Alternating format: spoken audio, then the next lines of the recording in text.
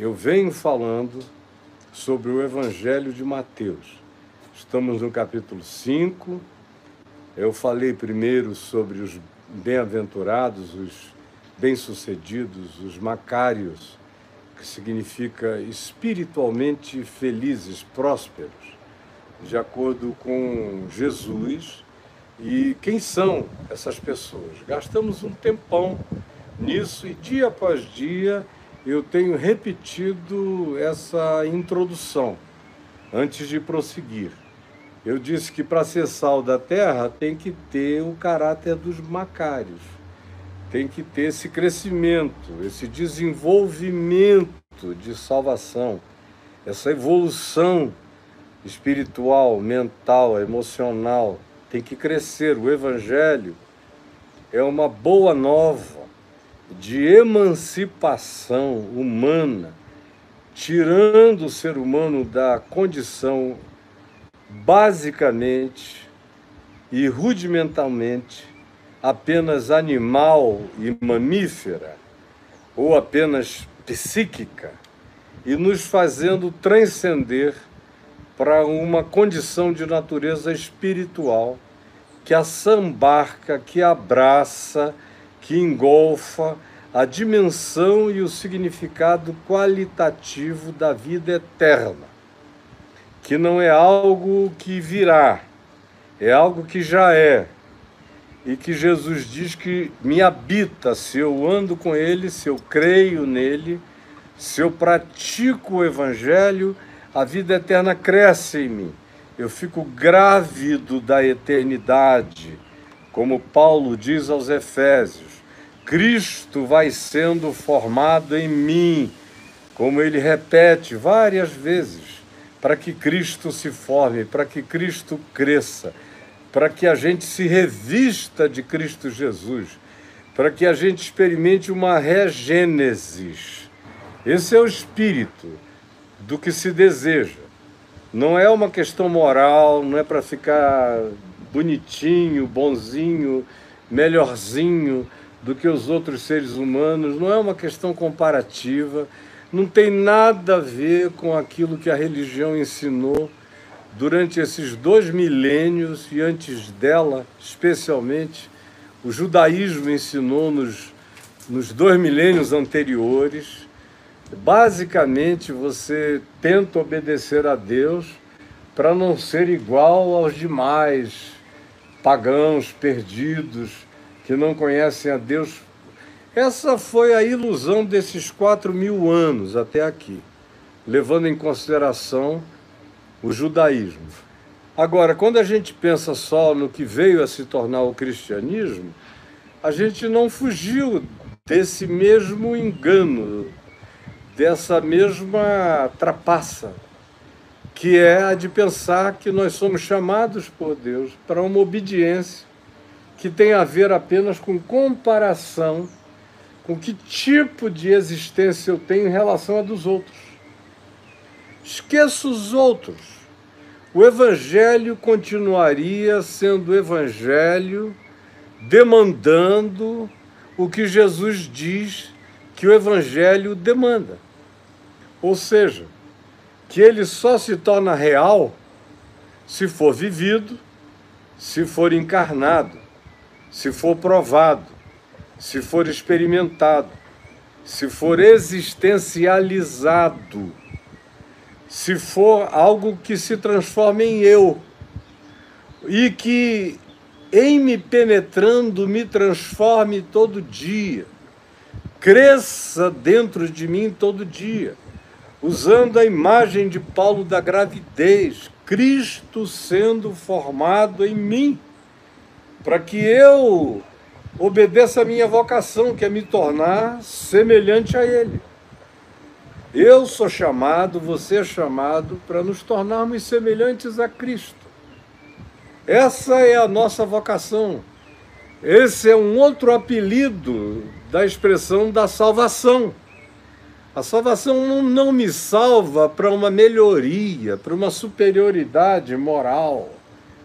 Até o significado de ética, do ponto de vista de Jesus e do Novo Testamento, e no Novo Testamento, especialmente as consciências apostólicas mais desenvolvidas, como a de Paulo, depois a de João e de Pedro, nos chamam para essa evolução, para que cresça em nós, como Pedro diz, a divina semente, para que o sêmen de Deus, que nos foi semeado, sêmen vem de semente, que nos foi semeado pela semente, pelo sêmen do Evangelho, o sêmen da palavra eterna, cresça no útero do nosso espírito, da nossa consciência, do nosso coração e desenvolva Jesus em nós. Esse é o significado de fazer de mim um macário, um ser próspero. Não é para efeito comparativo com ninguém. Tem a ver comigo. Tem a ver com me tornar semelhante a Deus como um filho amado. É o que Paulo diz, que nós somos chamados para sermos semelhantes a Deus como filhos amados. É o projeto desde o início. Façamos o homem a nossa imagem e semelhança. Continua a haver o mesmo projeto de que nós cresçamos na direção de nos tornarmos como filhos reais de Deus. Não por uma decisão de natureza judicial, como alguns na doutrina do cristianismo querem fazer ser somente isto. Então você creu, Jesus levou o seu pecado, então agora é transferida a justiça dele para você e você recebe essa transferência justificadora de Cristo para a sua vida, embora você continue a ser uma grande, grandiosíssima porcaria humana batizada dizimista e frequentador de uma congregação de seres que se julgam maiores ou superiores. E eu dizia, até a proposta ética do evangelho, que não tem, o evangelho não carrega nenhuma proposta moral, moral é circunstancial, é mutante, é geracional, já mudou milhares de vezes, ainda vai mudar muitas outras vezes adiante de nós, é um acordo geracional extremamente mutante. E só não percebe isso quem está totalmente entoperado mesmo. Do contrário, isso é o óbvio, cansativamente óbvio. Mas eu dizia até a ética, que é algo acima da moral, e que não é mutante, e que tem a ver com o significado do que é a vida em si, a possibilidade da vida em mim, aquilo que tem a ver com a qualificação do meu ser a partir da absorção do que Deus chama de vida para ser provada.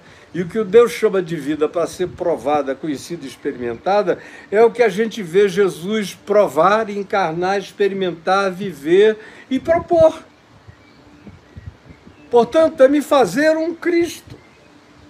Não para qualquer razão, deixa eu repetir pela quinta vez, só no dia de hoje, de natureza comparativa, de superioridade, é para o meu bem, é um benefício. É evangelho, que significa boa nova, boa notícia, caminho da transcendência, da verdade, da vida. E Jesus conclui dizendo: Ninguém vem ao Pai, que eu e o Pai somos um, disse ele, ninguém vem ao Pai senão por mim, por essa consciência, para crescer. Isso não tem a ver com catequese, doutrinação, aderência religiosa. Isso tudo faz parte do engano, da miragem e da ilusão. O Evangelho em si é real, é concreto, é para fazer ser verdade. Tudo isso na vida da gente, na minha vida, na sua é para que a gente encarne esse benefício. E a própria natureza ética do Evangelho é essa: é me beneficiar, me beneficiar com os benefícios de Cristo, Jesus. Não tem ninguém que tenha sido mais humano que Jesus.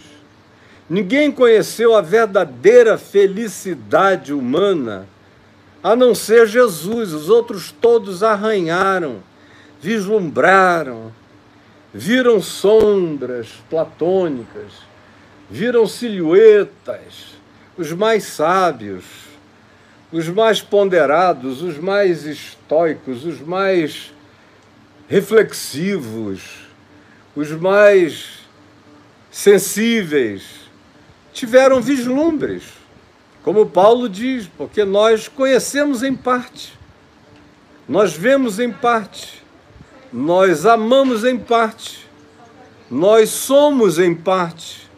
Tudo em nós é parcial, tudo em nós é relativo ainda.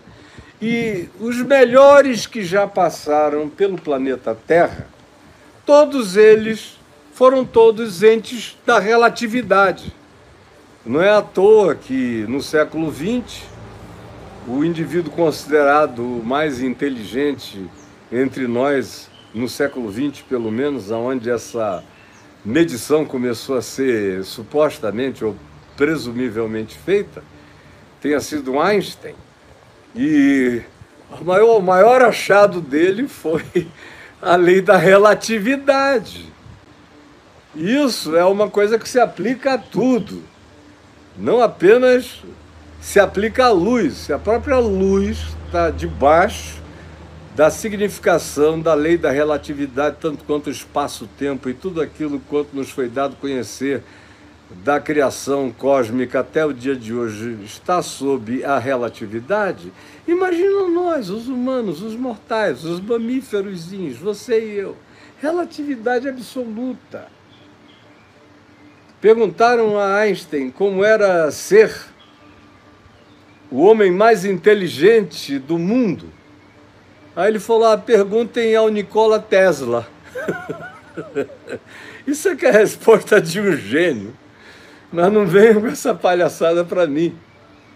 Porque, na realidade, a grande, grande, grande percepção e grande inteligência é perceber a relatividade de nós mesmos e de todas as coisas. Quando a gente admite a nossa própria relatividade, a gente bota o pé no chão do caminho evolutivo, que é o caminho do Macário do, do ensinável, do que se condói, do que se humaniza profundamente, do que exerce autocontrole, domínio próprio, do que projeta justiça, que tem fome e sede de justiça, do que o que quer para si deseja para todos, com toda clareza de misericórdia, com o olhar, a busca e a projeção melhor e mais limpa possível, de coração, construindo as pontes da reconciliação, porque todo Macário é um filho da reconciliação. Ele mesmo reconciliado com Deus é um reconciliador entre os irmãos, entre os próximos, próximos, entre todos os humanos. E se torna um ente incompreensível por viver assim num mundo tão animal, tão feroz tão brutal, tão perverso, tão maligno, de gente tão bestializada, tão tarada, tão narcisista, tão autocentrada, tão primeiro eu, uma criatura que exista assim, é um ser inconveniente, como eu disse várias vezes já nos meses passados, porque o sarrafo é levantado demais e ninguém aguenta viver com um sarrafo tão alto como o sarrafo do Evangelho de Jesus. Mas quando a gente adquire essa consciência, essa ética, esse ethos, passa a ser a nossa casa espiritual, passa a ser o nosso próprio ser como estado vivo de crescimento, se mostrando em estado de afloramento crescente, de desenvolvimento permanente em nós, a gente não experimenta isso para si mesmo. Essa boa nova aqui começa primeiro para mim, porque se não nascer em mim não vai dar mais fruto em lugar nenhum. Ou eu sou primeiro frutificado, engravidado pelo Evangelho, para que o benefício do Evangelho de Cristo, que não é um levantarzinho de mão, ir para um lugar para ficar cantando canções, para bajular Deus. Não. É alguma coisa que tem que me fazer um ser humano bonito, lindo, divino, assustadoramente transcendente, perdoador, generoso, pacificado, ensinável compreendedor e compreensivo, que tenha prazer muito mais na misericórdia do que no juízo. Uma pessoa que seja alimentada pelas promessas do amor de Deus, que primeiro chegam ao coração dele como certeza absoluta de inclusão inafastável do ser dele em Deus e depois do compromisso inquebrável dele com Deus, na prática desse amor, no todo da existência, para com a natureza, para com o todo da vida, para com o próximo, para com a natureza criada, para com as descobertas nessa natureza que revelam Deus, que são a Bíblia natural de Deus, aquilo que de Deus se pode conhecer que se conhece através da ciência, aquilo que de Deus se pode conhecer, que se conhece, por exemplo, na leitura inspirada da Escritura, aquilo que de Deus se pode conhecer, que se conhece pela sensibilização da nossa consciência e, sobretudo, o que de Deus se pode conhecer que nos é revelado em plenitude absoluta e incomparável em Cristo Jesus, que é a expressão exata do ser de Deus, que é aquele em quem tudo e todas as coisas subsistem, em quem tudo e todas as coisas foram criadas. E nele são. Quando eu entendo isso e me vejo como parte disso, eu começo a naturalmente dar o fruto. O fruto macário, o fruto bem-aventurado, o fruto da graça, que é benefício para mim, que me pacifica, que me tranquiliza, que me põe para além da morte, para além do medo, para além do pânico, para além do juízo, para além das assombrações, vai me desassombrando vai me fazendo intrépido, vai me dando ousadia, vai me dando coragem, na mesma medida em que me dá domínio próprio, na mesma medida em que me faz exercitar a vitalidade do meu ser através dos instrumentos e das manifestações do amor, do fruto do amor na vida. Aí, quando isso está compreendido, eu não preciso fazer força para nada, eu me torno um sal, eu me torno gosto, eu me torno uma delícia de Deus na existência. O sal não é para si. O sal que é para si perde o sabor e para nada mais presta, senão para ser lançado fora e ser pisado pelos homens, como disse Jesus. Não. Eu me torno isso, essa salvação, essa evolução, esse crescimento, essa maturação, esse desenvolvimento, essa gravidez de Deus formando Cristo em mim, formando o varão perfeito, me conduzindo à, à plena estatura de Cristo, se desenvolvendo na relatividade do espaço-tempo dentro do meu ser mas cuja relatividade vai dando lugar dia a dia ao absoluto da fé, da convicção e da certeza de que eu sou já um ser regenerado, eu sofri um regênesis, eu fui chamado das trevas para a luz. E aí é Pedro que diz: para que eu resplandeça como um luzeiro no meio dessa geração pervertida e corrupta. Por isso, Jesus diz: se é assim, se vocês evoluem assim, se o crescimento é esse, vós sois a luz do mundo. Assim como ele próprio disse de si mesmo: Eu sou a luz do mundo. Ele diz: Assim como o Pai me enviou, e ele me enviou para ser a luz do mundo, eu vos envio. E vós sois a luz do mundo, enviados por mim. Mas só serão luz se forem o reflexo da minha face, o reflexo do meu caráter, o reflexo do meu amor, o reflexo da minha graça praticada na variada relacionalidade com a qual nós fomos aquinhoados por Deus com a possibilidade de relacionalidade com Deus, com nós mesmos, com a natureza, com o próximo, todo o próximo, em qualquer lugar, e com os anjos e as criaturas celestiais, com as dimensões celestiais com as infindas dimensões celestiais.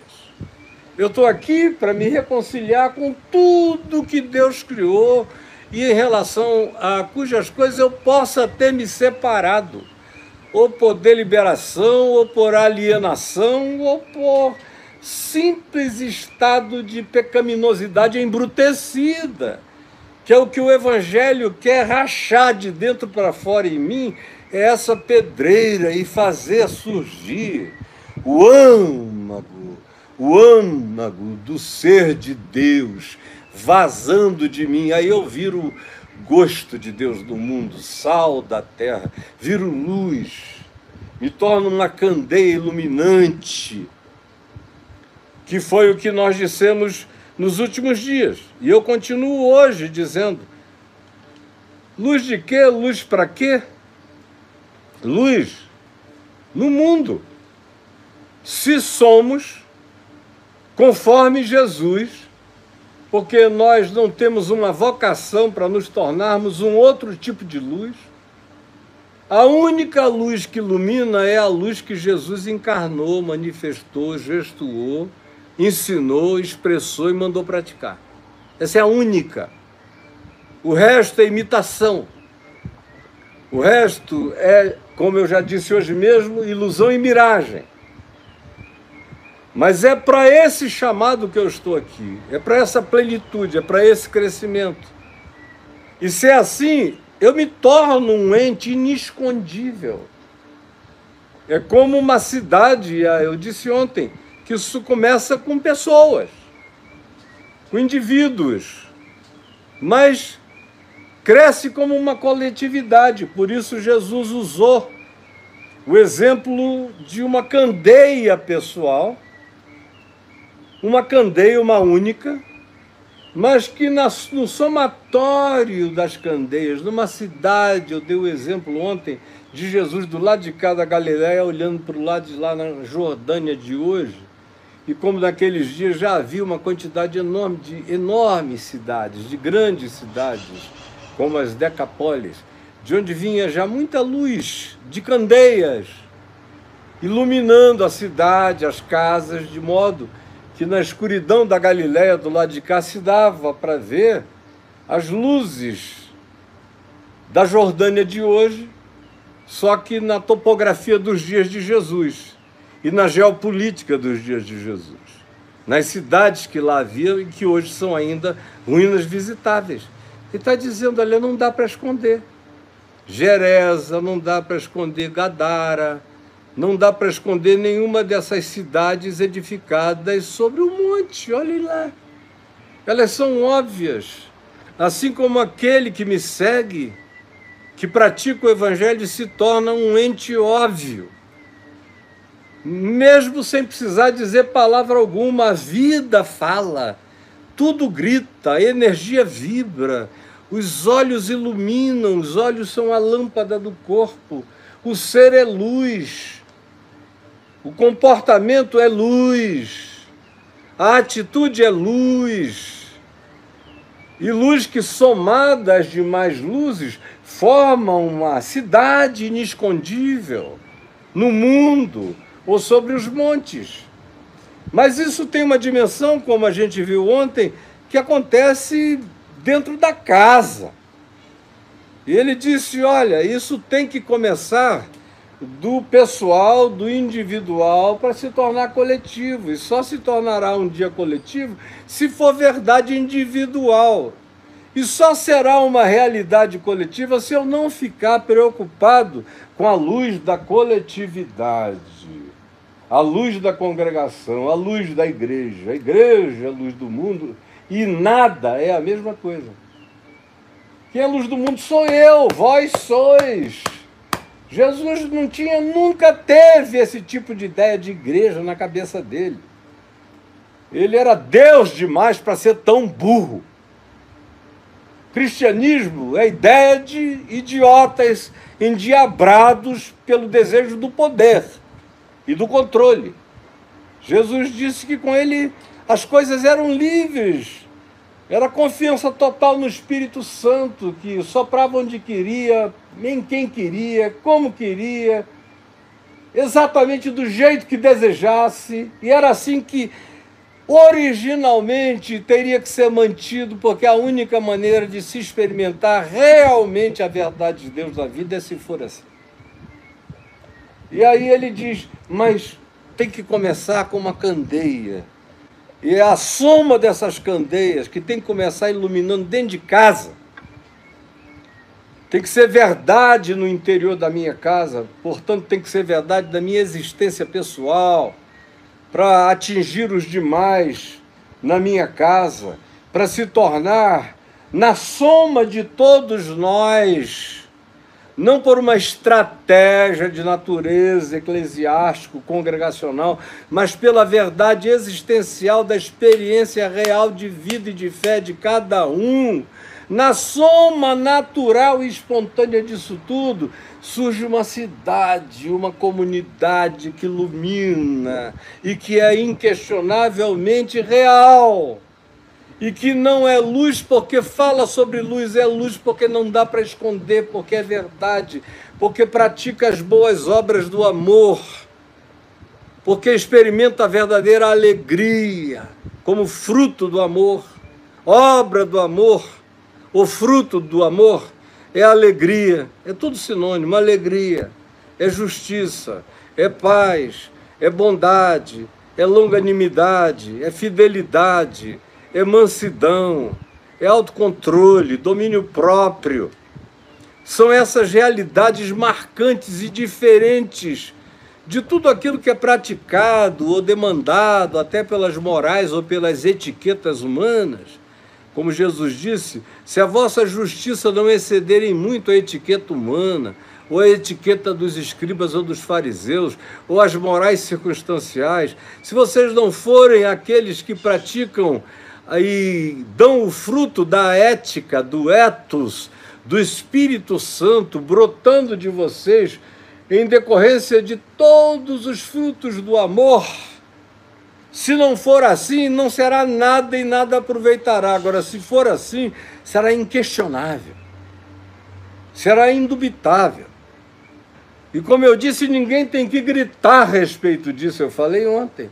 Isso grita por si mesmo e grita nos céus, na terra e debaixo da terra, e não há criatura, nem nos céus, nem na terra, nem debaixo da terra, que possam se esconder dessa realidade de um ser que anda iluminado. Ilumina no planeta, ilumina nas regiões tenebrosas, ilumina nas regiões celestiais, e até os seres das regiões celestiais Paulo diz: aprendem sabedoria. Os principados e potestades aprendem sabedoria com essa manifestação das obras do amor. Assim brilhe também a vossa luz diante da sociedade humana, para que os seres humanos, a sociedade humana, veja as obras, o fruto, o derramar, a graça, a verdade praticada, encarnada por vocês e desse modo, naturalmente, eles glorifiquem, digam: caraca, Deus tem filhos entre nós. Meu Deus, está cheio de anjo. Meu Jesus, tem um bocado de gentezinha simples, pobre, sem nome sem poder histórico, mas que são pessoas a cara de Deus, que carregam esse parentesco, essa filiação. É inegável esse vínculo delas. Não dá para questionar o fato da identidade delas a quem elas pertencem. Elas resplandecem, como Pedro disse, como luzeiros deste mundo tenebroso. Eles dão esse testemunho qualitativo da realidade da graça de Deus que fez e trouxe esse benefício crescente do Evangelho, apropriado por eles e frutificado naturalmente por eles na existência. Um benefício pessoal e que vai alcançando a tantos quantos vão chegando ao alcance da percepção dessa luz que carrega a glória de Deus. É por isso que os homens, as mulheres, a sociedade, a humanidade, quando vê gente assim, é forçado a olhar para cima. É forçado a dizer amém. Meu Deus, Deus existe não porque eu tenha tido demonstrações de qualquer natureza, mas eu tive uma demonstração. Eu vi Deus no meu próximo. Eu vi Deus no amor que essas pessoas experimentam. Eu vi Deus no trato dessa gente. Eu vi Deus na qualificação espiritual, psíquica, emocional, na qualificação de atitude, de caráter, de escolha de pensamento, de escolha de vida, de amor como decisão de prática perceptível na existência, mas que começa a partir das escolhas feitas na interioridade, feitas no coração. Quando essa realidade que eu estou aqui falando e repetindo há 50 anos se instala na gente, aí a revolução é incontrolável. Ninguém tem que implorar nada, ninguém tem que dizer da glória a Deus, da glória a Deus. Isso é coisa da carne. Quando é verdade, Jesus diz: os seres humanos olham e ficam embasbacados e dizem: Eu vi Deus nela, eu vi Deus nele. Essa pessoa é esquisita em relação a tudo mais, porque no mundo de ódio decidiu amar, no mundo de orgulho decidiu ser ensinável, ser humilde de espírito, ser alguém que continua aprendendo eternamente, que não para nunca de crescer.